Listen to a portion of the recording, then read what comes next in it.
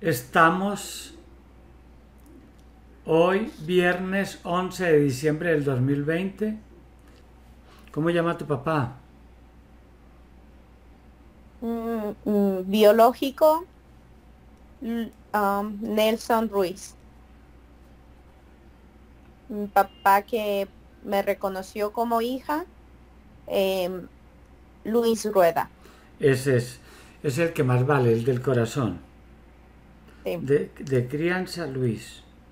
No de crianza. Yo tuve muchos padres de crianza, pero él me dio el apellido, vivió con mi madre por un periodo y el papá de mi corazón es mi abuelo, Luis, Luis Humberto. Papá corazón, abuelo. Ese es tu papá. Él es mi papá, sí.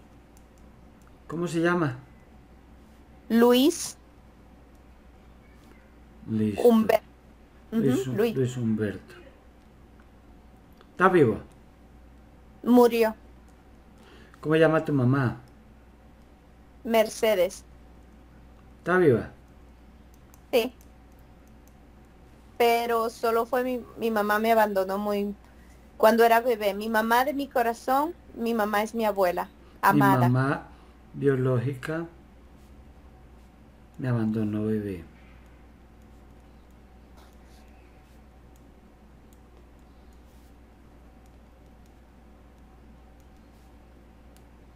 Mamá del corazón, mi abuela. ¿Cómo llama? Mi abuela amada, ¿Es la mamá de quién? de mi mamá. Listo.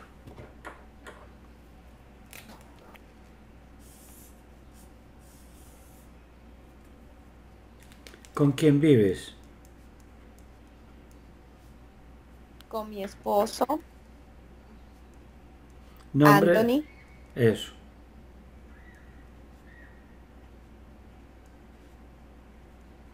Y mis tres hijos.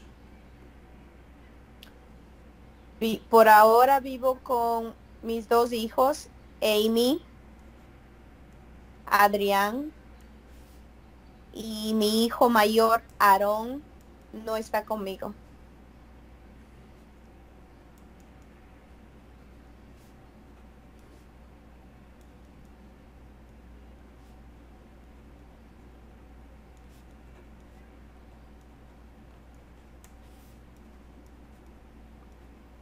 Listo. ¿Qué estás dispuesta tú a cambiar hoy?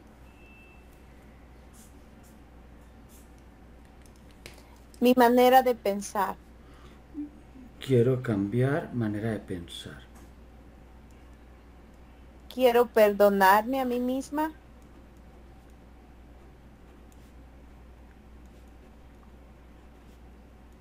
por malas decisiones del pasado.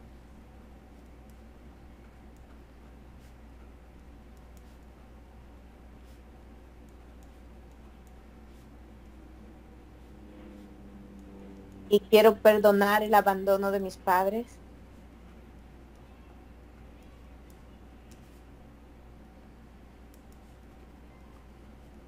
Y quiero dejar de tener miedo a estar sola.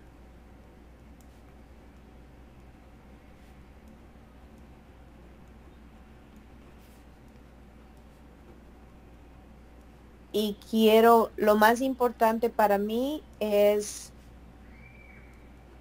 dejar que mi hijo mayor aprenda de sus errores y dejar de sobreprotegerlo al punto que se está destruyendo él mismo porque lo sobreprotejo y tengo que dejar de sobreprotegerlo. ¿Cuántos años tiene? 21. Pues hay que apoyarlo, es tu hijo. Es un niño grande. Pero todo mundo dice que no, que tiene que aprender la lección, pero yo lo quiero mucho. No, vea, yo se lo voy a explicar con un ejemplo. Con un ejemplo. mm, que no es cierto, lo voy a hacer para la explicación. Yo salí corriendo a comprar algo y me resbalé y me fracturé. Me llevan al hospital y el médico que es amigo me dice, Aurelio, te voy a operar, te fracturaste. Y durante un mes no podrás caminar. Pero tranquilo, que te vamos a asignar aquí en el hospital una silla de ruedas eléctrica computarizada, moderna. Oiga, qué maravilla. Yo estaba operado y en esa silla de ruedas no tenía que levantarme para nada, yo apretaba botones. Iba por los pasillos del hospital y la gente me abría paso para que yo siguiera. Iba a los centros comerciales y había estacionamiento privilegiado para mí, porque había el dibujo de un hombre con una silla de ruedas en el piso y yo podía estacionar ahí junto a la puerta. Oiga, no tenía que hacer fila en las cajas registradoras. Yo compraba y dio una para la caja. Me abrían paso con mi silla de ruedas. Ah, yo me sentía todo un rey. Al mes fui al hospital. Me dice Aurelio, ya es hora de empezar a despertar esos músculos. No los podemos dejar mucho tiempo así porque se atrofian. Vas a tener que hacer esfuerzo por caminar. Pero en muletas. Entonces entrega la silla de ruedas y ahí te van a dar un par de muletas. Te van a hacer ampolla aquí mientras te acostumbras tendrás que aprender a mantener el equilibrio. Y preciso, me dieron las muletas. Todavía me abrían espacio para que yo pasara ahí en los pasillos del hospital. Un momentico, doctor. Llegaba a los centros comerciales y lo mismo. Preferencia en el estacionamiento. No tenía que hacer colas para pagar en las registradoras. Pero yo ya tenía que dar ciertos pasos por mi cuenta.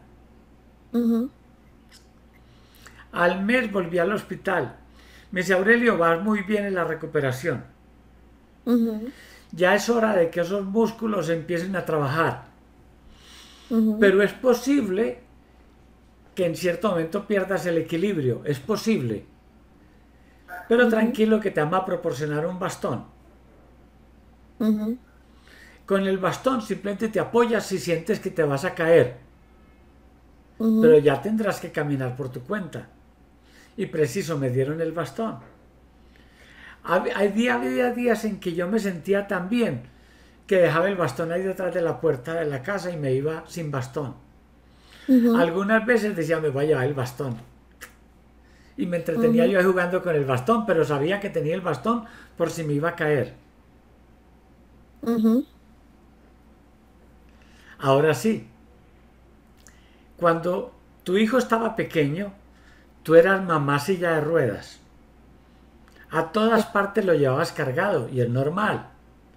Y tenían preferencia. ¡Ay, qué niño tan bonito! ¿Cómo se llama? ¿A quién salió? Y todos miraban al niño. Tenía atención preferencial el niño. Luego cuando empezó a crecer y ya estaba yendo a la escuela, tú lo llevas a la escuela. Tú lo dabas llevar de la mano. Tú le cargabas los útiles, la mochila a veces. Ya no era la mamá silla de ruedas, pero era la mamá muletas. Y un día tu hijo empezó a crecer más y ya tenías que dejar de ser la mamá muleta para convertirte en la mamá bastón. Estás ahí detrás de la puerta por si te necesita, por si él va a caer, lo ayudes a parar lo ayudes a sostener, lo ayudes a que no caiga, mamá bastón. Ahora sí, yo pregunto, de esas tres, en este momento, ¿cuál mamá eres?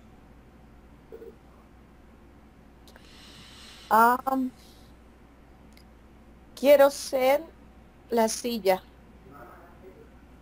Pero ya, está muy, ya está muy grande, ya no puede ser la mamá silla. Y ahora soy pero él quiere que yo sea la silla y él sigue llorando y dice, yo quiero, yo quiero que, que me perdones y, y- Ah, no, y eso sí. Hice mal y necesito ayuda y quiero, Eso. tengo que ser bastón. Mamá bastón. Mamá sostén. Mamá pollo, sí, claro. Él está muy joven. Claro, es que 20 es, es que es un niño grande. cometió el peor error que, que fue ante mis ojos él pudo haber cometido porque yo he trabajado tanto y tanto, tanto por él. Le he dado lo mejor. Le he dado escuela privada. A ver, vamos a mirar qué es lo mejor. No le di tiempo porque le quise dar mucho. Entonces no fue lo mejor. Lo mejor hubiera sido tiempo, abrazos, cariño, como eres de inteligente, como estás de lindo. Eh, venga, vamos al cine, venga, vamos a comer un helado al parque juntos. Eso era lo mejor. O sea que te convertiste en mamá cajero, Sí, mamá suministro. sí. Pero no eras perfecta. Nadie te enseñó a ser la mamá perfecta. No tuve madre Eso. y darle todo lo que lo que yo pensé que Claro. necesitaba. Autodidacta. Así, uno compra un Betamax, uno compra un celular, uno compra una aspiradora supermoderna y corre a leer el manual de instrucciones. A ver, ¿cómo es que se maneja? ¿Este botón para qué sirve? ¿Y qué tengo que hacer? En cambio, recibe un hijo en el hospital que es de tecnología más avanzada que cualquier celular y se lo entregan sin manual de servicio, sin instrucciones.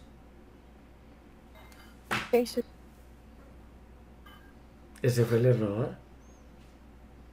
Que no fuiste a una librería a comprar un libro, cómo ser una buena mamá, cómo criar bien los hijos. No lo hiciste. Tú pensaste que autodidacta lo podías hacer bien. Sí. Pero en fin, ya lo que está, está. Hay que corregir de aquí en adelante. Ajá. No puedes abandonar a tu hijo. No. Tienes que, él tiene que sentir que su mamá bastón está ahí al lado. Sí, yo sigo con él, pero quisiera que tome las que empiece a tomar decisiones correctas. Esa es. Hablar con él y decir, yo he cometido varios errores contigo, quise ser la mamá perfecta, pero yo no sabía cómo ser una mamá, yo no tuve mamá. Yo quiero que tú aprendas a tomar tus decisiones, yo te apoyo en lo que yo pueda, yo voy a estar ahí, no te voy a abandonar. Pero tú cometiste un error y aprende del error, procura no volverlo a cometer. Sí, señor. Eso es lo que yo le digo a él. Escucha, todos cometemos errores y todos tenemos que perdonarnos y trabajar por el contra. Pórtate bien para que el juez, cuando determine la pena, sea lo más benévolo posible. Pórtate bien ahí donde estás, pórtate bien a donde te lleven, pero aprende del error y no lo vuelvas a cometer. Mira la lo- cantidad de familias que caen en desgracia por la droga. No solo por la droga que consumen los hijos, sino por la droga que comercian los hijos.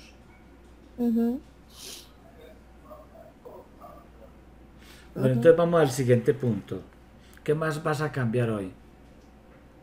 Tengo que cambiar y hacer una decisión en no quedarme en una relación por miedo a estar sola financieramente o por, mie- por miedo. Quiero ser feliz. Nunca he sido feliz 100%. Uh, eh, siempre me preocupa mis hijos más que mi relación o más que ninguna cosa y ahora quiero quiero dejar de ser indecisa quiero tomar decisiones correctas Imposible, eso no lo logró ni Dios. Ni Dios tomó la decisión correcta. Aurelio, ¿Dios se equivoca? Claro. ¿Me puede decir algún error de Dios? No, uno no, le voy a decir varios. Uno, tomó la decisión de hacer los animales en la creación. Luego tomó la decisión de hacer al ser humano. Y se le olvidó hacer la compañera Adán. Se le olvidó. Él es Dios. Él hubiera podido ser la compañera.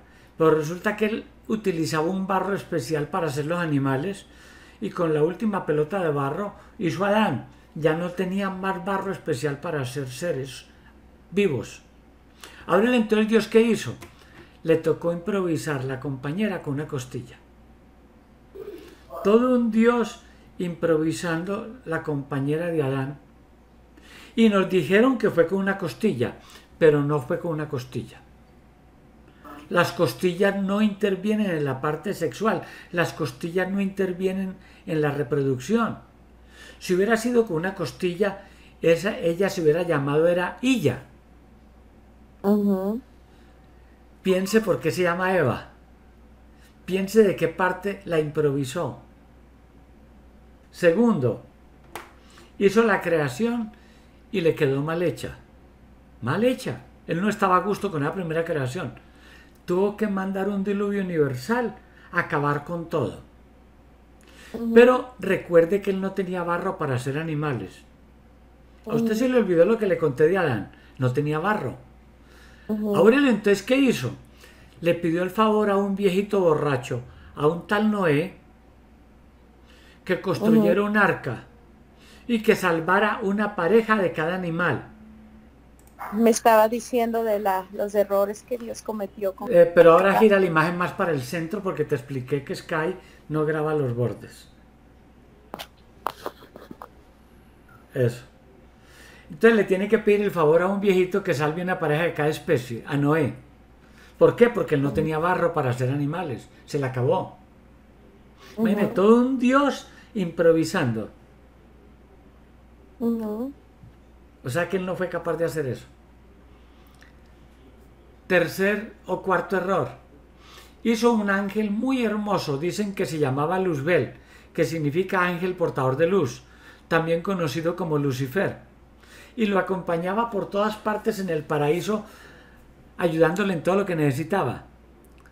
Pero no previó que Lucifer se le fuera a torcer. No previó que fuera a poner un bar el infierno en Ecuador. Y resulta que como él no previó eso, no le puso botón de desintegración. No tiene como quitarle las pilas al negrito y se lo va a tener que aguantar todo el resto de la creación. Otro error. Más errores. Abandonó a Jesús cuando estaba en la cruz, cuando lo estaban torturando. Tanto que en la Biblia dice que Jesús en la cruz gritó, Dios mío, Dios mío, ¿por qué me habéis abandonado? Jesús nunca dijo soy Dios. A Jesús lo endiosaron fueron sus seguidores. Él nunca lo dijo. Seguimos hablando de más errores de Dios. Y usted, toda una zumbambique ecuatoriana, quiere que ser perfecta, quiere tomar decisiones correctas, quiere no equivocarse. Eso donde existe. Ningún ser humano. Vean, ni Trump, el, presidente de los Estados Unidos, ha tomado decisiones correctas siempre. Se ha equivocado muchas. ¿O no? Y es Trump. Y está asesorado por una cantidad de personas. Si él supiera toda la respuesta, entonces ¿para qué necesita tantos asesores? No, no. Váyase a esa nube. Que usted no es perfecta ni nadie lo es. ¿Qué más quieres cambiar o retirar hoy de tu vida? Quiero aprender a ser más expresiva, más cariñosa, eh, a, expresar mi felicidad, mi, a expresarme mejor o mi cariño hacia otras personas que no sean mis hijos. Listo, eso sí, eso sí lo puedes hacer. Ahí yo organizo la imagen otra vez. ¿Está bien ahí? Ahí está bien, ahí está bien, no muevas nada. Ok. Listo, ¿qué más vas a cambiar hoy? Porque es ah. usted la que va a hacer los cambios, yo no lo voy a hacer. Yo le ayudo, pero la que toma las determinaciones de cambiar de actitud, de pensamientos usted. Para Sí, que señor. disfrute esos 49 años que le faltan. Sí, señor. Tengo, yo sufro de ansiedad constante. Ansiedad donde a veces no puedo dormir, no puedo comer, no puedo vivir. La ansiedad es un constante vacío en el estómago como que algo va a pasar, alguien va a morir, alguien... Ah, no, eso sí. ¿Alguien va a morir? Sí. ¿Para qué le digo que no? Sí, sí. Sí, que se mueve, se muere gente todos los días a todas las horas.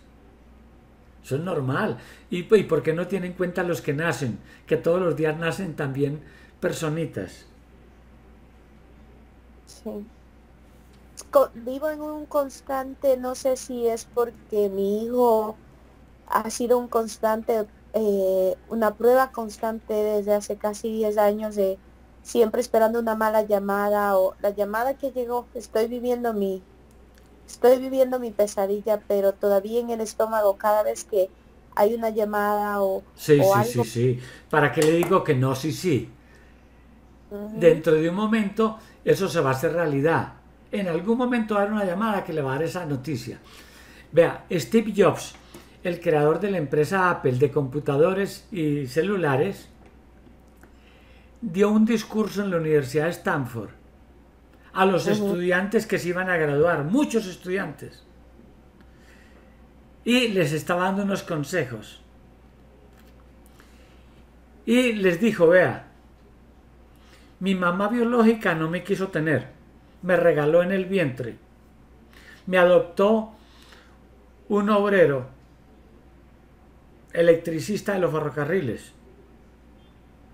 Mi papá biológico no lo conocí. Mi papá de adopción no tuvo con qué darme el estudio. Se gastó los ahorros de su vida en matricularme en la universidad, matricularme. Y se gastó los ahorros. Yo para poder comer en la universidad tenía que recoger envases de Coca-Cola y me daban 5 centavos de dólar por cada envase y con eso comía en la semana. Los domingos la universidad estaba cerrada y yo caminaba más de 10 kilómetros hasta un templo Hare Krishna que me daban gratis la comida. Y luego me devolvía caminando estos 10 kilómetros. O sea, caminaba 20 kilómetros por un plato de comida. Steve Jobs, el que llegó a ser de los más ricos. Luego hice mi empresa de computadores con un amigo en el garaje, en la cochera de la casa de mi papá, adoptivo. Allí empezamos a fabricar los primeros computadores Macintosh. Y a los 10 años ya tiene una empresa muy grande con mi amigo. Y teníamos una junta directiva. Y el vicepresidente de la compañía lo nombré yo. Llegó un momento en que ya yo no me entendía con el vicepresidente de la compañía. Al año no nos entendíamos. Y la junta directiva resolvió echar de la empresa a uno de los dos. A uno de los dos. Me echaron a mí. Al que fundó la empresa, al que la creó, la junta directiva lo echó. Imagínese. Qué humillación. Pero me dijo, fue lo mejor que me pudo haber pasado porque me puso a pensar otra vez desde cero. Y fundé la primera compañía en el mundo de animación digital para películas, Pixar. Wow. Y le empecé a hacer las películas a Disney. Y yo mismo hice la película Toy Story. Y a los 10 años logré recuperar otra vez mi empresa. A los 10 años. A Apple. Apple. Pero un día, y usted está moviendo el celular y estaba mejor como lo tenía antes. Está resbalando ahí. Ah, bueno, as- asegúrelo bien con un billete de 100 dólares. Si tuviera unos cuantos. Póngale un libro. Voy a poner.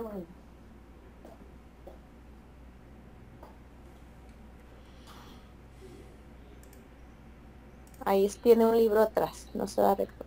Ahí está bien. Ahora quite eso que te está tapando la cara, una bufanda o algo que tienes ahí, listo.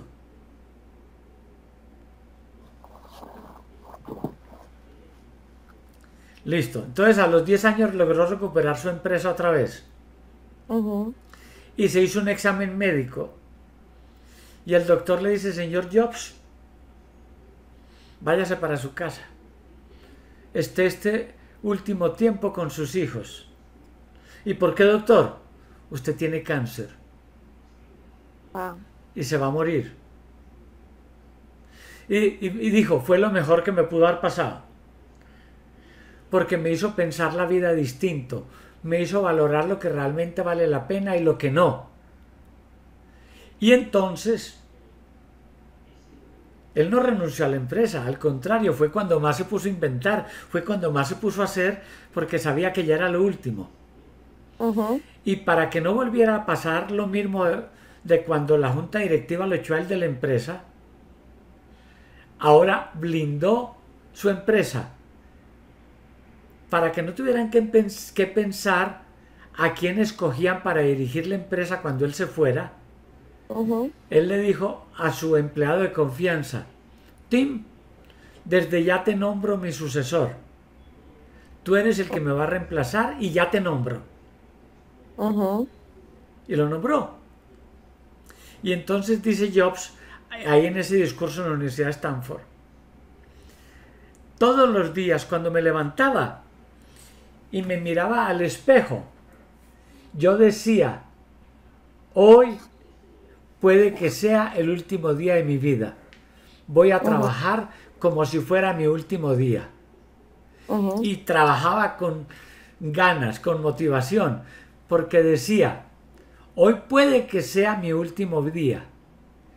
Y dijo, y yo sé que un día voy a tener razón, un día va a ser el último. Y efectivamente, un día fue el último. Ese día murió. Wow. O sea que si tú estás desde hace 10 años esperando una llamada fatal, no te preocupes que ya falta menos. Ya falta más poquito para que esa llamada llegue. Pues pregunto, ¿para qué te pones a sufrir por algo que te ha pasado? ¿Por qué más bien no esperar a que suceda y luego ya sufres? Pero vas a tener un sufrimiento doble. Pre-sufrimiento y post-sufrimiento. Ábrelo, ¿cómo que pre y post? Sí, pre, el anterior a la llamada. Y post, el posterior a la llamada. Doble sufrimiento. ¿Qué ganas con oh. eso?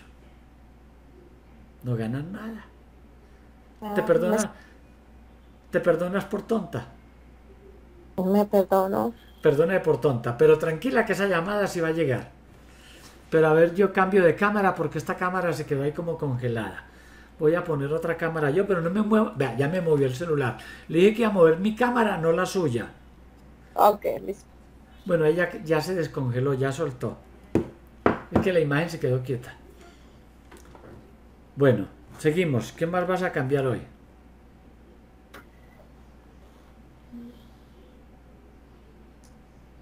Voy a cambiar. Quiero ser más paciente. Ah, no, eso sí, eso sí más paciente con toda la gente alrededor mío. Mm. Y quiero ser más honesta.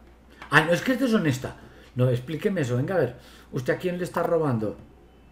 No, a veces omito decir cosas para evitar confrontación, para ah, evitar... Eh, para que todo el mundo esté feliz. No, todo el mundo imposible. Está bien que usted exagere, pero que usted se crea la exageración. Y esa no se la creyó ni usted. Y es que hago cosas para que todo el mundo esté feliz. Los chinos ni siquiera se están dando cuenta que usted hace eso. Los rusos ni la conocen. Los aborígenes de Borneo están allá en su isla. que van a estar pendientes de lo que usted hace en su estética? No, no, está bien que usted diga cosas, pero que usted se las crea. Si hace cosas para que dos o tres personas estén bien, listo. Son dos o tres personas, no es todo el mundo. Eso no lo logra ni un presidente.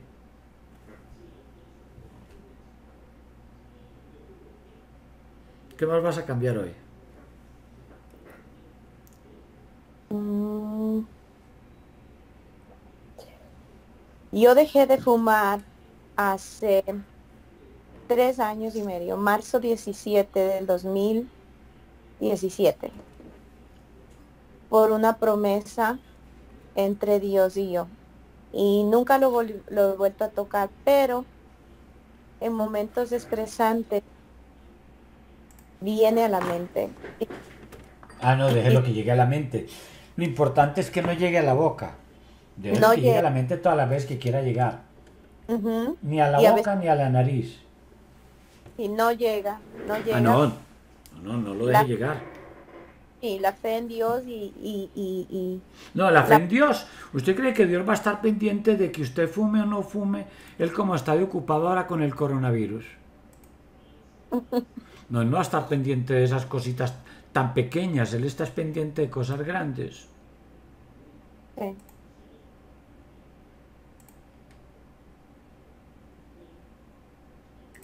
Listo, cámara No, cambié la cámara porque esa se siguió congelando. Ya puse otra. Ah, Entonces. Listo, ¿qué más vas a cambiar o retirar hoy?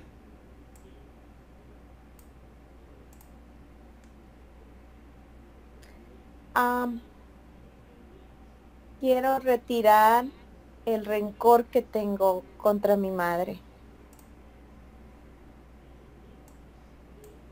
Le tengo rencor a mi madre.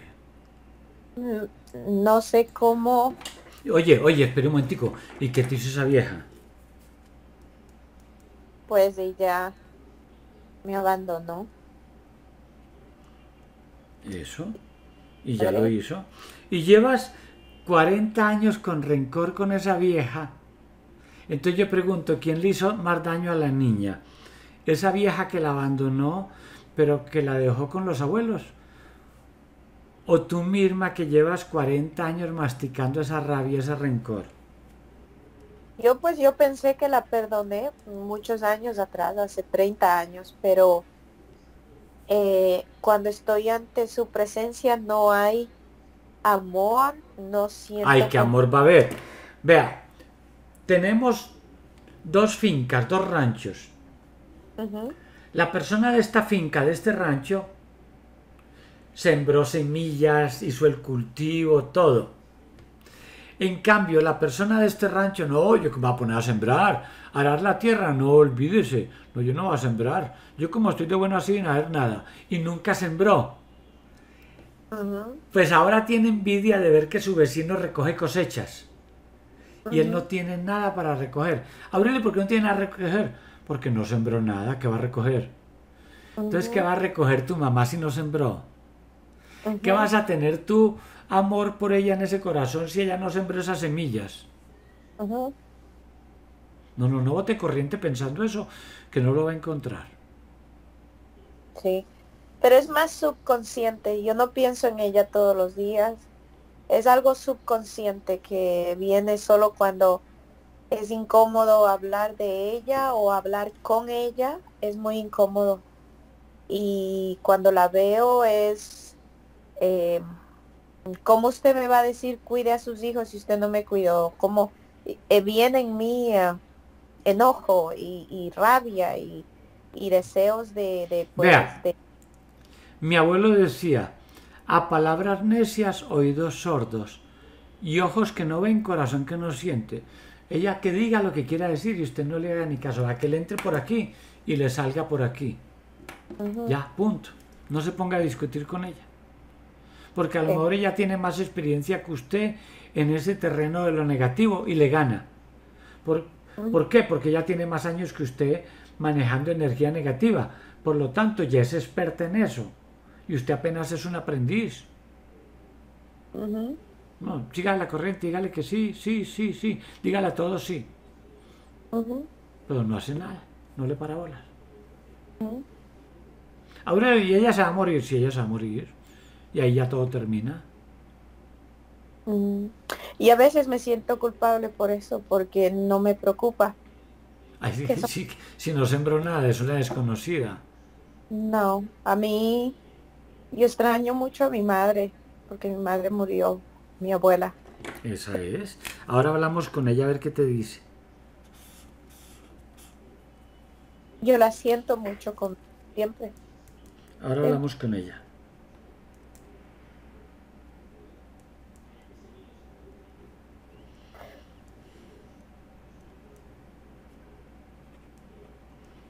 Lo que ella te diga. Antes de que tú te mueras, porque ya pues de que usted se muera, ¿ya para qué? La gracia es disfrutar los 41 años que le faltan. Sí, yo quiero ser feliz. Eso. 49 años, más que suficiente para ser feliz. ¿O necesita más? No. No, es que Con, más. con tres de felicidad yo me No, muero. no, 49 años es suficiente. Sí, sí, señor. Bueno, ¿qué más vas a cambiar o retirar hoy? Ah, quiero tirar el, ah, la mala relación que tengo con mi esposo. Eh, quiero retirar el, el temor a, a- iniciar una pelea, el temor a, no a él físicamente, el temor a, a que los niños escuchen que hay conflicto en la casa y por ese temor a veces me he perdido yo misma, ¿Cómo se llama él sin apellido? Anthony.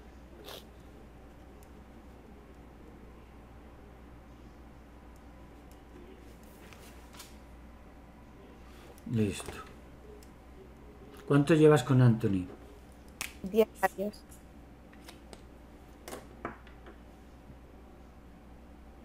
Más o menos. Sí, 10 años, más o menos. En diciembre, el 31 de diciembre son 10 años. Listo. 10 años.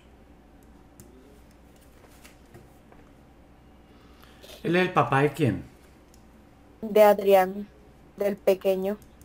Tiene 6 años.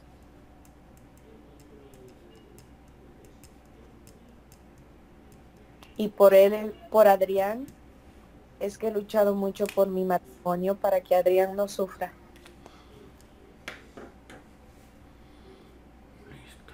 Pero él va a sufrir porque es un ser humano y todos los seres humanos usted sabe que sufren, todos. O Jesús no sufrió, Y él sufrió. o Gandhi no sufrió, Sí, todos sufrieron. o, o Nelson Mandela no sufrió, o Biden no ha sufrido. A mí no me gusta que mis hijos sufran. Ay, ¿qué vamos a hacer? Vea, le voy a poner otro ejemplo como el de las muletas. Imagina que tú eres la dueña de un colegio. Tú tienes mucho dinero y eres la dueña del mejor colegio de Nueva York. Ajá. Y un día llega una sobrina tuya y te dice, tía, tía, usted es la dueña del colegio, ¿cierto? Sí, yo soy la dueña del colegio. Tía, es que no me gusta la aritmética. No me gusta. Entonces quiero que hables con el profesor de aritmética y le digas que yo no voy a volver a clase de aritmética, que me voy a ir a jugar basquetbol a la cancha con mis amigas. ¿Tú qué le dices? Váyase tranquila a jugar basquetbol que yo hablo con el profesor de aritmética. No. No. Usted es la dueña del colegio y usted quiere que se eduque bien su sobrina. Al otro día llega tu hijo. Mami, mami. Mm, ese profesor de química no me gusta. No me gusta. No, yo no quiero hacer experimentos. Yo no quiero hacer tarea de química. A mí no me gusta eso. Habla con el profesor de química y dile que no. Que yo voy a, a practicar karate con mis amigos. ¿Qué le dices? Vayas a practicar karate y hablo con química para que no le enseñe química. No. Llega al otro día una prima. Prima. Primita rica, primita dueña del colegio. Vengo a pedirte un favor. ¿Cómo que te ocurre? Oye, el profesor de botánica programó examen para la semana entrante y yo no quiero estudiar botánica. Ah, no, yo más bien me voy de botellón, me voy de rumba con mis amigas para el downtown. Allá a conocer unos amigos y a fumar un poquito de marihuana, a ver eso que se siente. ¿Tú qué le dices? Sí, váyase tranquila a fumar su marihuana. Yo hablo con el profesor para que me haga examen. No. No. Entonces, ahora sí, llevemos eso a tus hijos. Tus hijos tú simplemente les diste el cuerpo, el cuerpo, pero ellos son espíritus que vinieron aquí a aprender muchas cosas. Esto es un colegio. Este colegio le llaman Pachamama, lo llaman Gaia, lo llaman Tierra, lo llaman Urantia. Y usted simplemente proporcionó el cuerpo.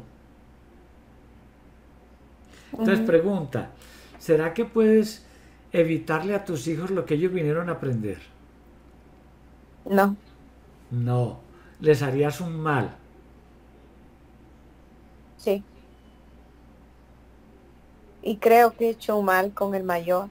Ya te lo dije, a partir de hoy, bastón. Mamá bastón.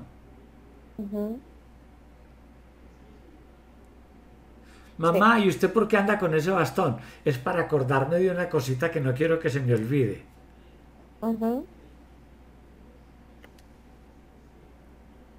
Sí. Listo, ¿qué más vas a cambiar o retirar hoy? Mm, yo creo que eso es todo. Eh, nada más. Quiero, cosas que quiero hacer es, yo quiero recordar mis vidas pasadas. Yo ¿Ah, quiero... Oiga, ¿ya qué hora va a ser eso? Primero vamos a, sanar y reparar todo lo de la vida actual, que es la que está viviendo, que es lo importante. Y luego quiero irse también de excursión a vidas pasadas a ver qué pasó por allá. Porque pasan muchas cosas raras. Porque yo sueño, porque yo sueño los hechos que pasan y, me asusta, porque no me gusta, porque yo soy católica y yo no... Oh, católica, ¿y qué es ser católico? Contame eso. A ver, yo sí también me vuelvo católico, yo que soy ateo. Contame pues qué es ser católico. Pues yo creo, y por eso hay el conflicto entre los dos, porque yo nací y católica, mi abuela mi abuela me crió católica y yo sé... Yo Por eso, ¿qué es, ¿qué es ser católica? Yo quiero saber qué es eso. Catolicismo es ser devota a, a, Dios, a Cristo Jesús, a ir a... No, un digo que usted está confundiendo dos cosas. Primero dijo devota a Dios y después dijo devota a Jesús. Son distintos. Porque para mí Dios Padre, Dios Hijo, Espíritu Santo es un solo Dios. ¿Y por qué tenemos que dividir a Dios? Si me han dicho que Dios es uno, único, ¿por qué lo tenemos que partir? No sé. Eh, ¿Se da cuenta? Usted practica cosas sin pensar, simplemente por impulso de herencia. Y un error que viene de herencia no se convierte en verdad.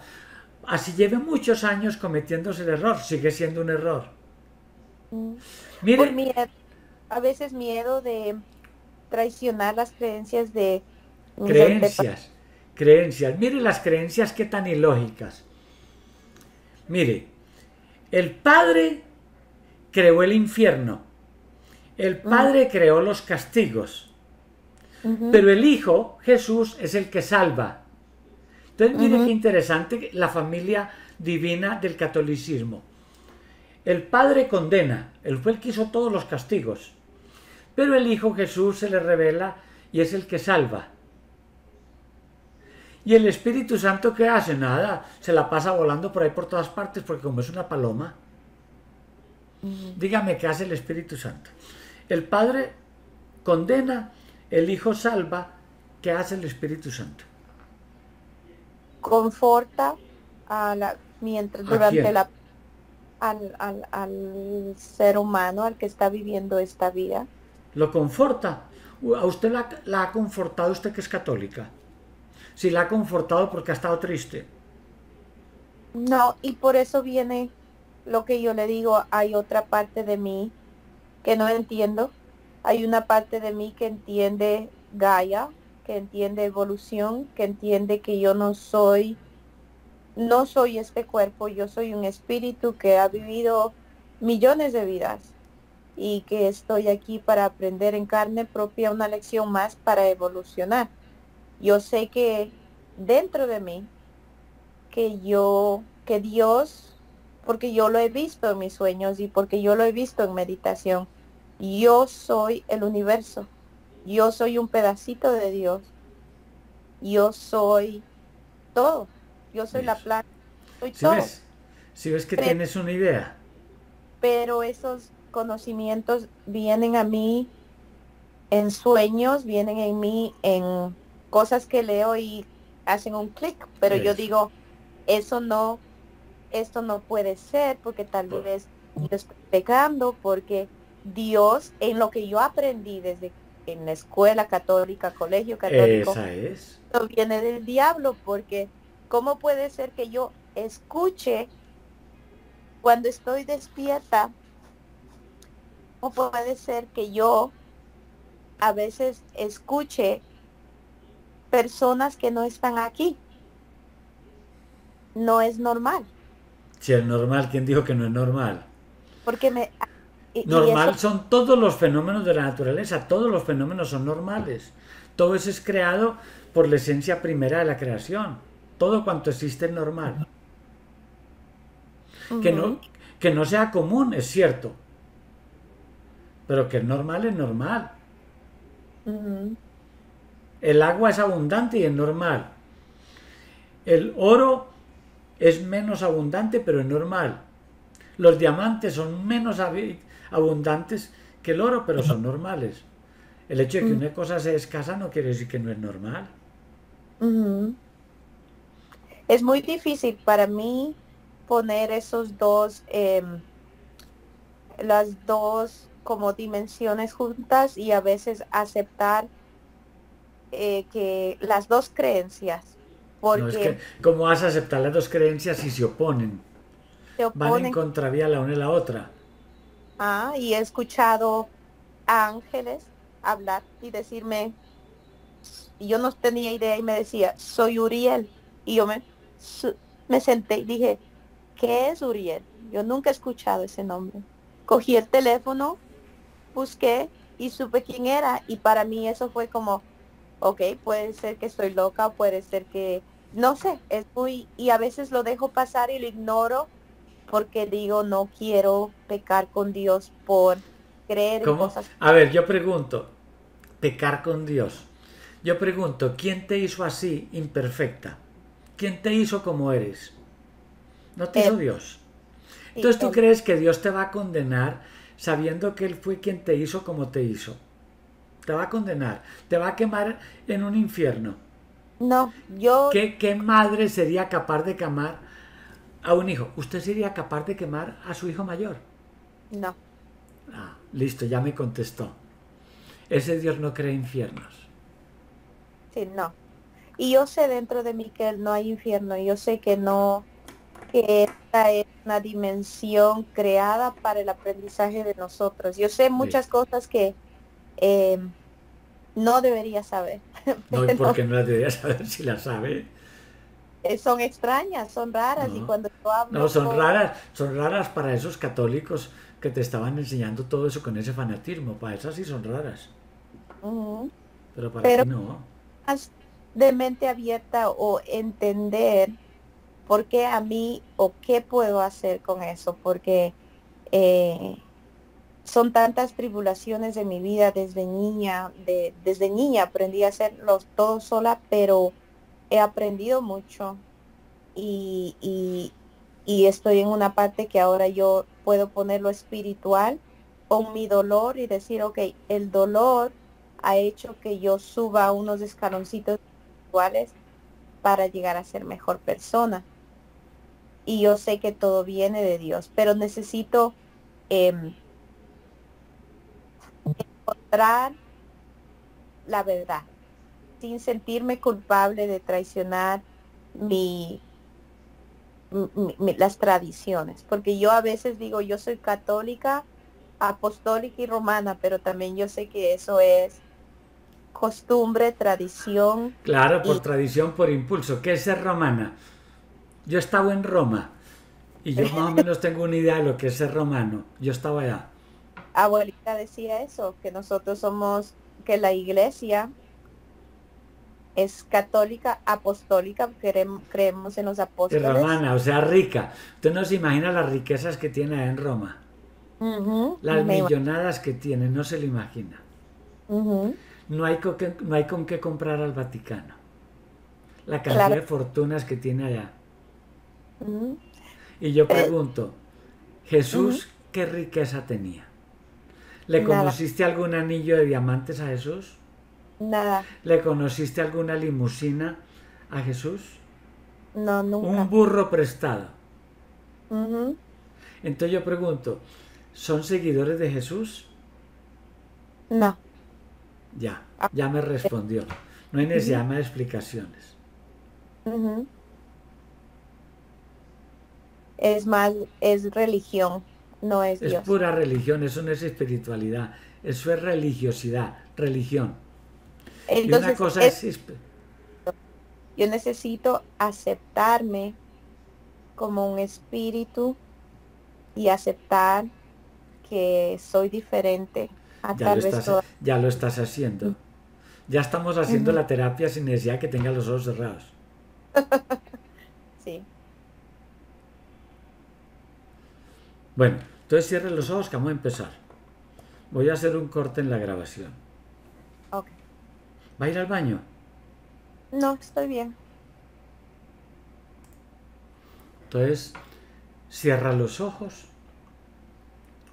Que vamos a iniciar con un ejercicio probatorio, preparatorio, de exploración psicoemocional, espiritual, muy sencillo. Es un ejercicio de imaginación, pensamientos y recuerdos. Mientras yo cuento desde 1 hasta 5, piensa en alguna cosa de tu vida que te afectó, niña o grande, miedo o enojo, abuelita, amada o abuelo Luis. Y al llegar a 5, quiero que me digas eso que elegiste para pensar o imaginar. Uno.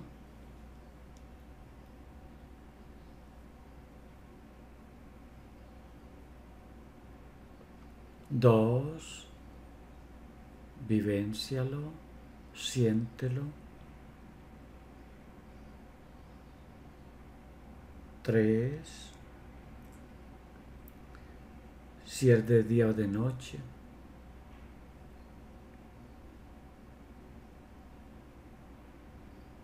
Cuatro. ¿Con quién estabas? Con mi mamá. Estoy con mi mamá. La fui a visitar. Abuelita me llevó a visitarla.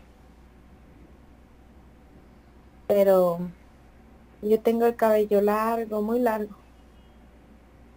Y ella está enojada porque me tiene que me tiene que peinar, porque abuelita siempre me peina. Pero ella no quiere. Es enojada y me cepilla muy fuerte. Y dice cosas, pero no, no entiendo. Solamente sé que está frustrada y que cepilla. No trates de entenderla, no hay necesidad. Déjala que ella se desahogue. Mira para otro lado.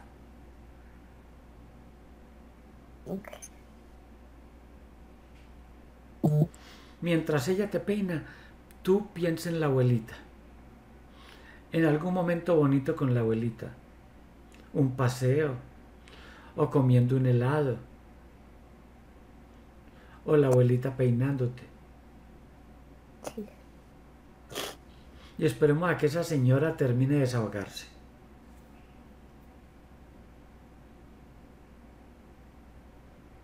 Mientras tanto tú piensa en algo bonito. Una muñeca grande imaginaria. Un arco iris. El mar. Cuando esa señora termine de peinar a la niña me dices. O de despeinarla, porque no sabemos si la está peinando o despeinando. Esa señora como se está desahogando de frustraciones que tiene.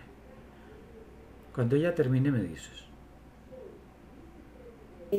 En el mar. Ya. Estoy tranquila. Ya, ¿Ya terminó? sí. Listo, dile a la abuelita que ya se pueden ir. Ok.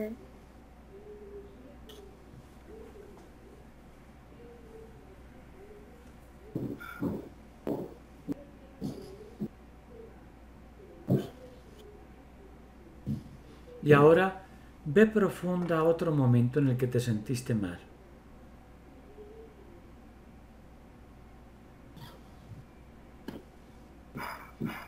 Estaba esperando a mi papá a que llegue.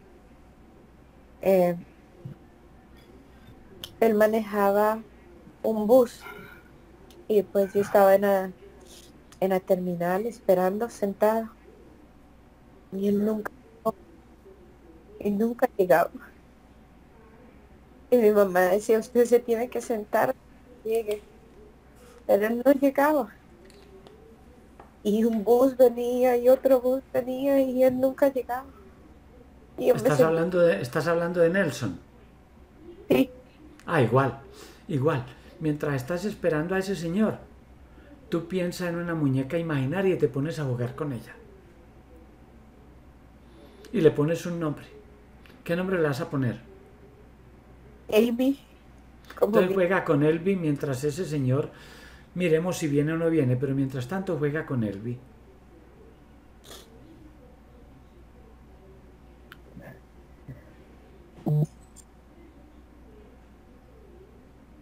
No, no llegó. Ya te puedes ir con Elvi para la casa. Dile a la abuelita que Elvi no llegó, que Nelson no llegó. Ok.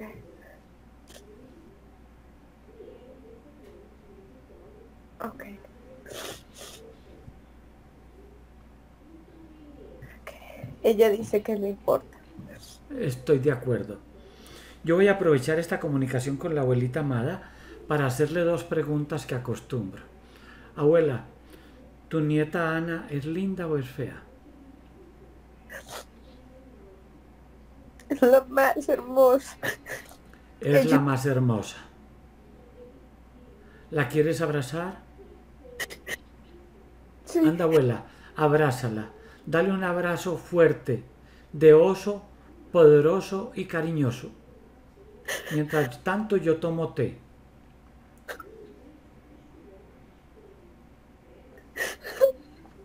Abuela, ¿y es inteligente? Mucho. Entonces también díselo, díselo. Abuela, yo voy a leer lo que escribí con tu nieta, a ver qué le aconsejas en cada punto.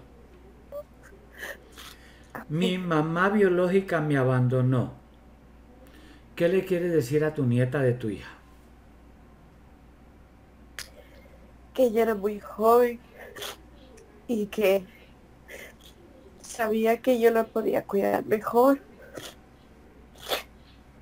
y que siempre le dije que la perdone porque uno tiene que honrar a su padre y a su madre. Pues no es que tenga abuela, porque si padre y madre no le dieron cariño a uno, lo castigaban injustamente, lo tuvieron en un desliz y no se preocuparon por el niño, no es que uno tenga que quererlos, abuela. Eso no es así. Pero ella tiene que obedecer porque No, la no. ley A, a usted, abuela, que fue la que la crió, usted es la mamá. A tu hija que no le dio cariño a tu nieta, no. No hay que quitarle esas obligaciones a tu nieta. Sí. Ella tiene que entender que ella era muy joven y que ella iba a estar mejor conmigo. Ah, no, eso sí lo va a entender, pero no es porque tenga. Bueno, sí, porque tenga, po- porque tu nieta tiene mucha inteligencia. Entonces hay que aprovechar que tu nieta tenga mucha inteligencia y le entienda. Eso sí. Entonces, Ana, ¿la entiendes?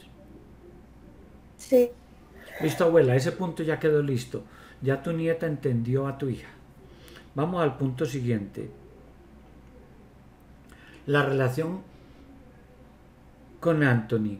Tú que ya pasaste por aquí, ya que viviste todas las vicisitudes de esta vida, ¿qué consejo de vida le das hoy a tu nieta linda para esos 49 años que le faltan?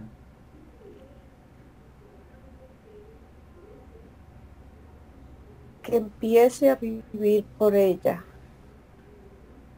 que empiece a diseñar una vida para ella, no para lo que es más seguro para los niños, no para seguridad. Ella tiene que vivir para ser feliz, porque se lo merece, porque ella ha luchado mucho ya y no tiene que sacrificar más. Ella tiene que vivir con alguien que la respete, la ame y que ella ame y que ella respete y confíe. Que yo creo que esta relación no tiene un uso para el futuro. Yo pienso que lo que tenía que hacer ya fue y que ahora ella tiene que dejar de tener miedo a estar sola y que tiene que empezar a vivir para ella. Abuela, tu consejo está sumamente claro. Si tu nieta lo quiere más claro que eso, que le revuelva agua. Pero está muy claro. Vamos al punto siguiente. A partir de hoy quiero cambiar manera de pensar.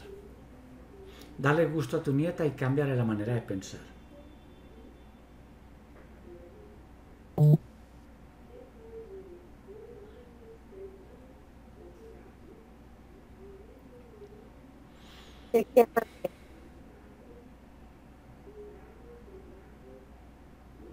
Con respecto a su esposo, con respecto a los hijos o con respecto a sus creencias. ¿Qué deseas? Abuela, esos tres puntos que tú dijiste son importantes. Empecemos por las creencias. Yo estaba equivocada. Yo estaba equivocada. Listo, abuela, ya. Tu nieta es muy inteligente y entendió eso que acabas de decir. Vamos al punto siguiente. Con respecto a tus bisnietos, los hijos de Ana.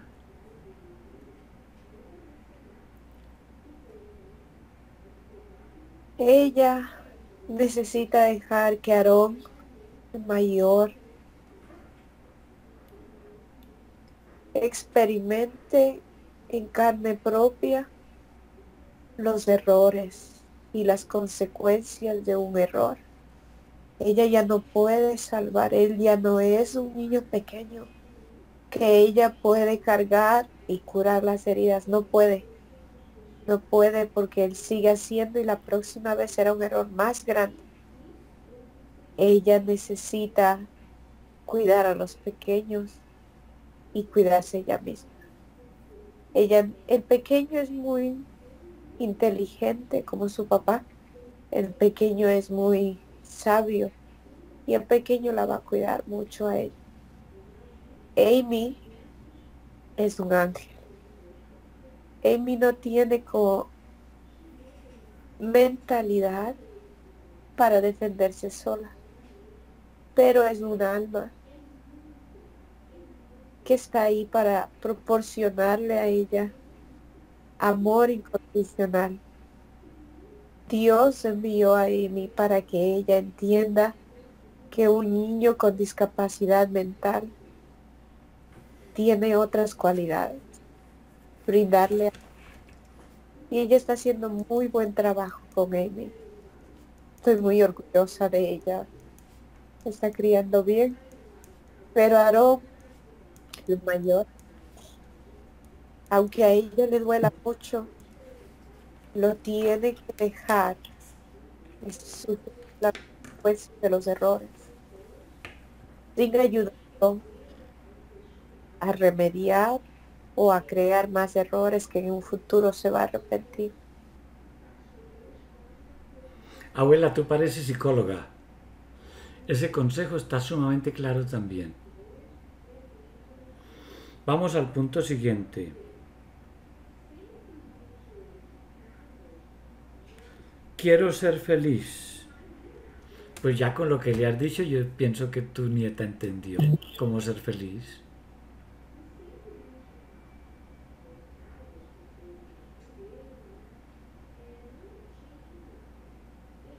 ¿O le quieres agregar algo más? Anita, tú sabes lo que tienes que hacer. No tengas miedo. Estamos aquí, papá y.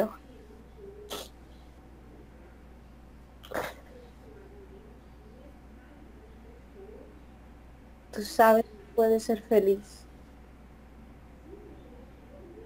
Coge valor. Sé valiente. Sé valiente.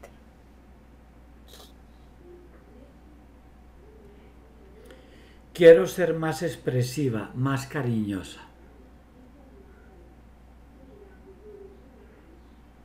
Ella no recibió ejemplo de ser expresiva y ella no sabe cómo. Y entender lo tiene que crear. No sé por qué ella es así. No sé. No sé cómo enseñarle a ser expresiva y cariñosa. El abuelo Luis era más expresivo. Él, ella fue la, es la luz de los ojos. Ah, no, listo. Entonces de eso se encarga el abuelo. Abuelo Luis, escogido por unanimidad para que le enseñe a tu nieta ya cómo ser cariñosa y expresiva.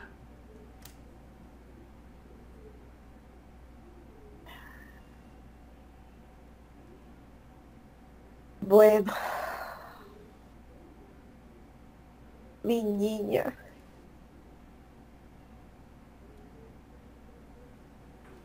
Ama a tus hijos y ama a los demás como yo te amé.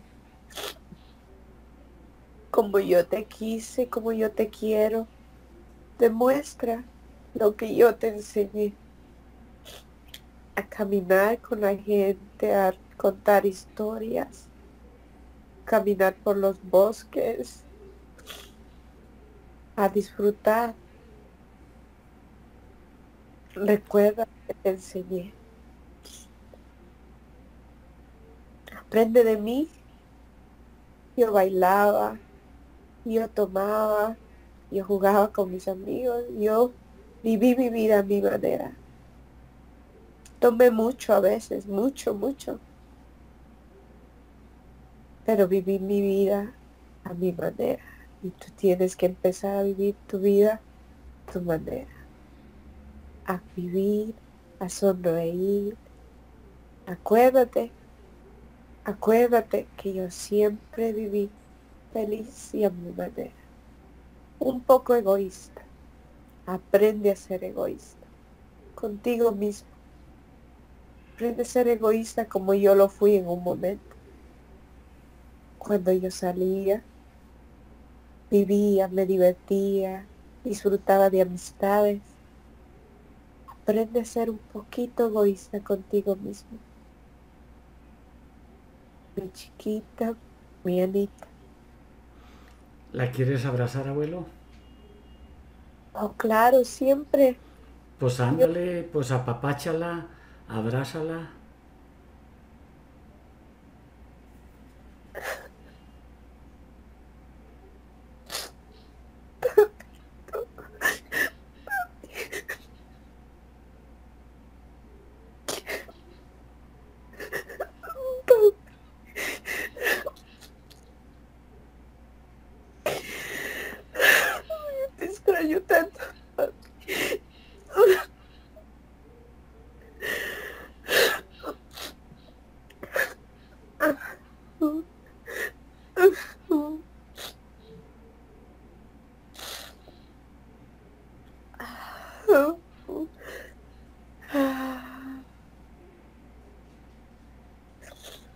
Él dice que todo está bien.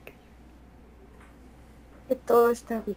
Él dice, me está tocando la cabeza y mi cabello. Y él dice que todo está bien. No pasa. tranquilízate. Sí. Abuelo, punto siguiente. Mm, ansiedad. Necesitamos retirarle eso a tu nieta. Encontrar cuál era el motivo.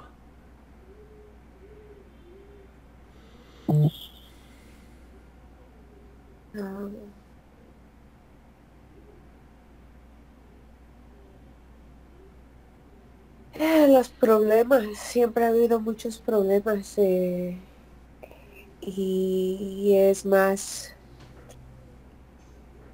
un estilo de vida, un modo de vida que ella aprendió desde la niñez. Es sobrevivencia. Ella tiene eso, lo, lo utiliza para sobrevivir, para estar preparada. Está mal, está mal porque no, nunca se, nunca en esta vida hay un hombre no, sobre preparado o preparado para los problemas. Ellos van a venir, como sea. Anita, eso no está bien. El problema va a llegar. Y tú vas a afrontar el problema cuando venga. No antes que venga. Porque te estás destruyendo.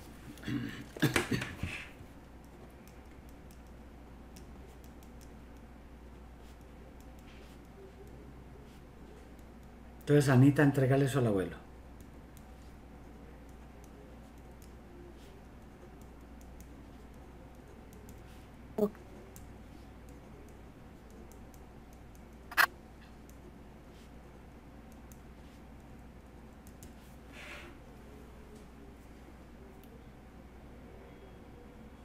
se lo llevo.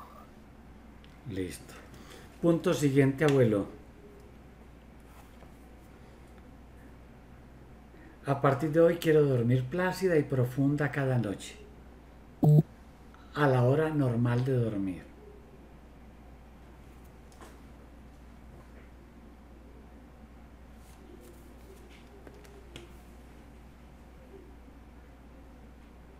Es que ella se preocupa mucho, doctor, ella se preocupa mucho por su hijo. ¿Dónde está? ¿Con quién está?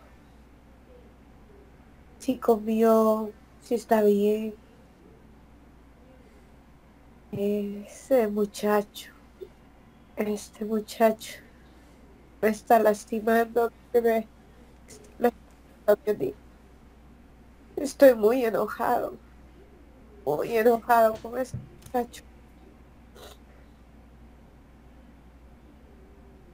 me está lastimando mi amiga. Por eso ya no puede dormir. Y ahora ya no come. Mi Anita ya no come. Doctor, ella no come y me preocupa. Pero abuelo, vamos a arreglar eso. Porque enferma no va a ayudar a nadie.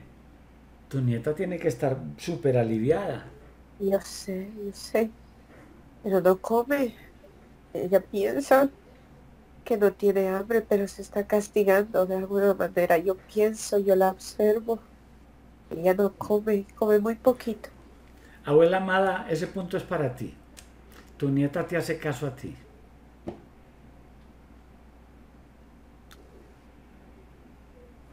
Ay, sí, yo estoy aquí yo, yo trato con mis oraciones, yo de acercarla a mí, trato de darle paz cuando duermo.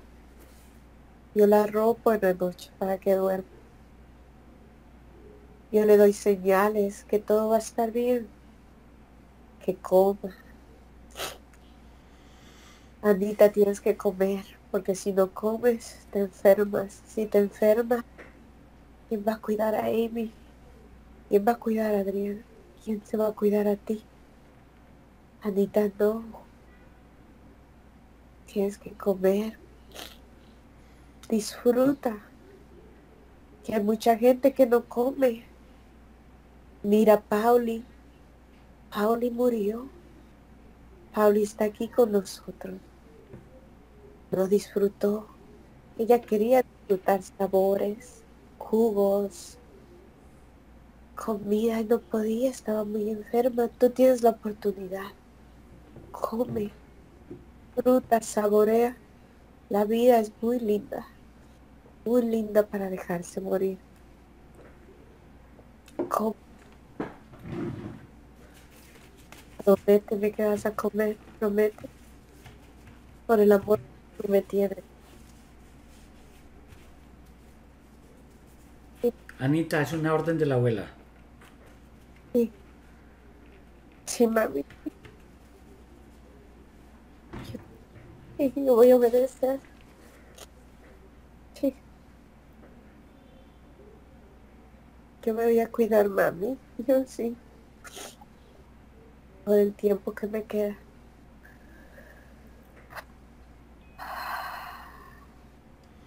Bueno, abuela, ya con esto terminamos. Haz una última revisión de tu nieta a ver si encuentras algo más para cambiar o retirar, de tal manera que tu nieta disfrute esos 49 años que le faltan.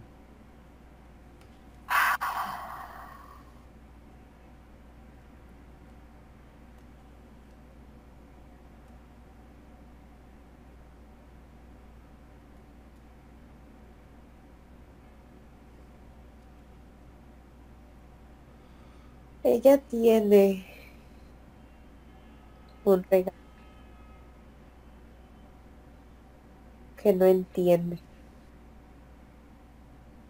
Y la ansiedad no es de él, es de otros. La ansiedad viene de energías diferentes a las de ella. Y ella las absorbe porque no puede protegerse energéticamente. Ella, esto no es de ella. Ah, bueno, abuela. ¿Te encargas de retirarle eso con mucho amor? Y envías esa energía a la luz. Sí, Aurelio. Hágale pues, abuela.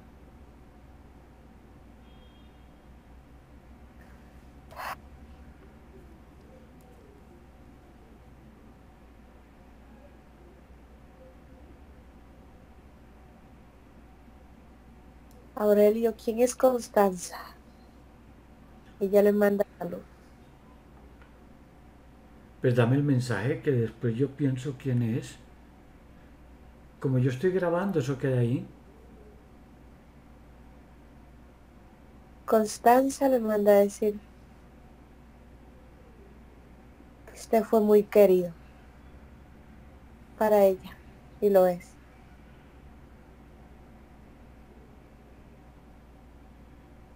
Muy buen trabajo.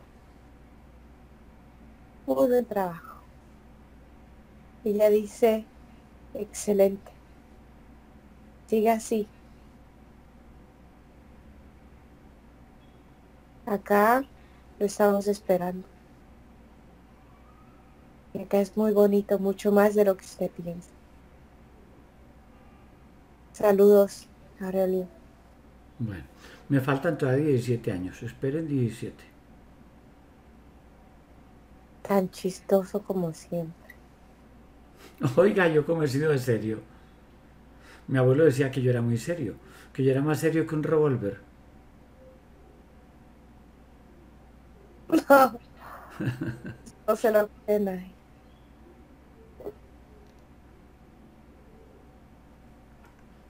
Bueno, entonces ya Anita está lista para regresar. ¿Quién de ustedes se encarga de regresarla? Bien feliz, bien contenta, bien positiva, vida nueva a partir de hoy. Yo no la voy a despertar, porque si están ustedes ahí, ¿quién se encarga? Los dos, siempre los dos. Bueno, abuelos, elegidos por unanimidad. Bien contenta, bien feliz, la traen de regreso acá. Sí. Pasamos por la playa. Y regresamos. Y regresamos.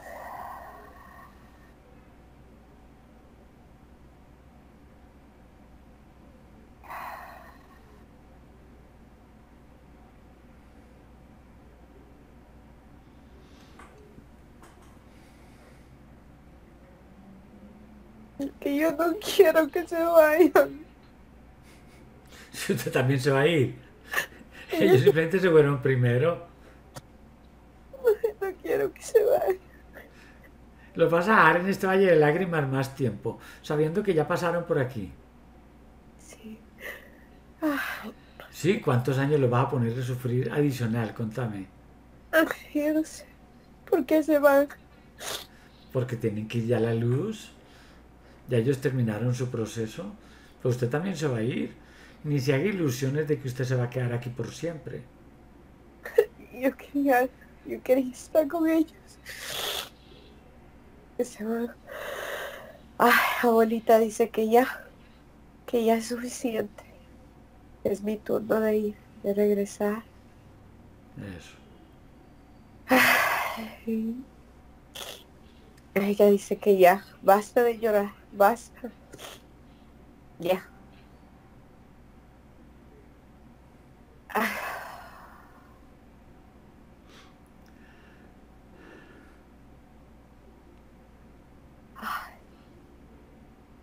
Ok. Yo estoy acá. ¿Y cómo te sientes ahora que estás acá? Me da mucha risa que soy muy llorona. Porque lloré tanto. Ah, pero eres una llorona feliz. Sí, soy la Eso, única. eso es lo importante, que seas una llorona feliz. Estoy llorando de felicidad. Sí, me dejaron muy feliz. Entonces te hago la pregunta que le hago a todas las lloronas felices. Para enseñanza de otros, ¿Permites compartir la experiencia? Sí. ¿Y la, la cara se puede tapar? Sí. También. Sí. Yo voy a... Bueno, entonces voy a suspender la grabación. Espera un momento.